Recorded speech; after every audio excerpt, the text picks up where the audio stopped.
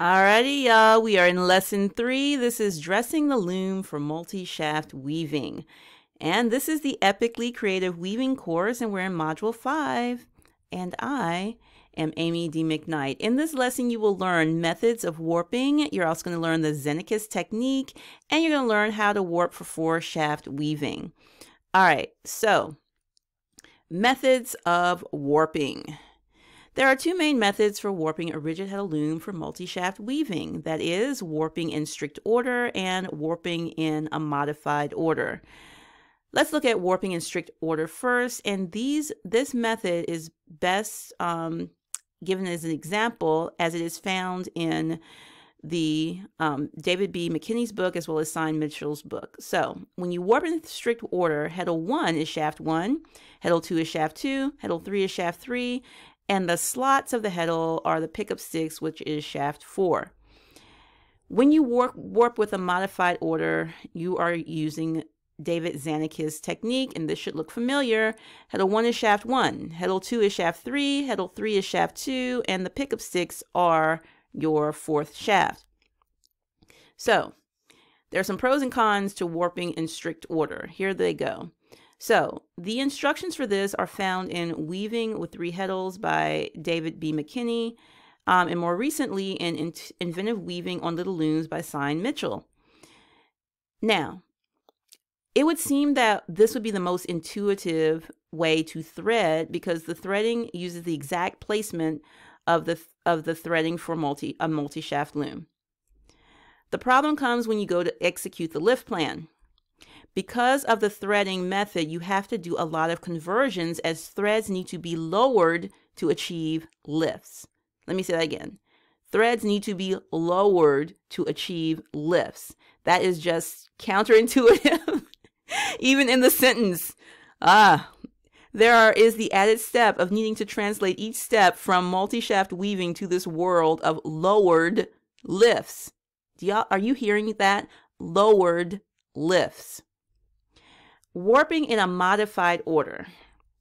All right, the instructions are found in the Xenakis Techniques by um, Mr. Xenakis, and it puts the shafts that are used together beside one another so that the weaving is more intuitive. Now, you can purchase this book on Amazon, but the most up to date version can be downloaded for free. I mean, the man is being super generous with us um, from his website. You're going to need to download a copy of this book as I will be using it as a reference for the rest of this module. And you don't need to print out the whole thing unless you want to. Um, it could be useful though to print the whole thing out and have it as a reference as you are warping and working through um, the things that we're discussing. So now, how to warp for four shaft weaving. So we're going to use the off the loom and bring the loom the heddles to the loom method to do this. So you're going to warp your your heddles off the loom. And then you're going to bring all three heddles to the loom. We are not warping one heddle at a time because it doesn't really make sense. You want to understand where each of the threads are going through each of the heddles. This will allow you to catch your mistakes easier and it will also, um, it's more close to what a person does when they're warping a multi-shaft loom. They don't just warp all of the all of the first shaft and then warp all of the second shaft. They warp they warp they warp the shaft 1, shaft 2, shaft 3, shaft 4, shaft 1, shaft 2, shaft 3, shaft 4 if they happen to be working with a four shaft loom. All right. I would suggest starting out that you use the double thread in each slot and hole. This will allow you to warp in the direct warping method as opposed to needing to use the indirect method in a warping board.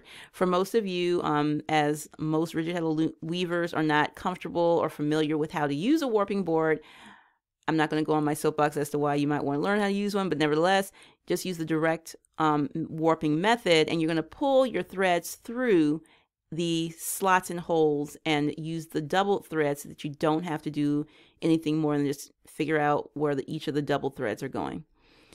All right, so I'm going to refer you to page 12 of Mr. Xenakis's book, and it's going to show you how you are going to thread your loom. Um, in the study group, we get down to this a little bit more, but um, for the purposes of this public video, I'm going to just refer you to page 12 of Mr. Xenakis' book.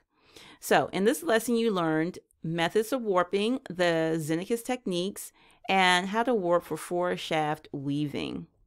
So take action now. Warp along with me as I dress the Cricket loom in straight draw threading. And again, I'm going to be using three heddles of the same dent to do this.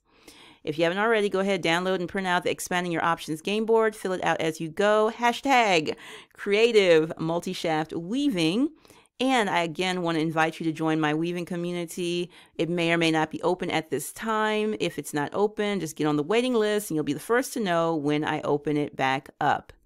Thank you so much for watching this video. Please leave me a comment below, subscribe to this channel, ring the notification bell, and share this video. Caring is sharing.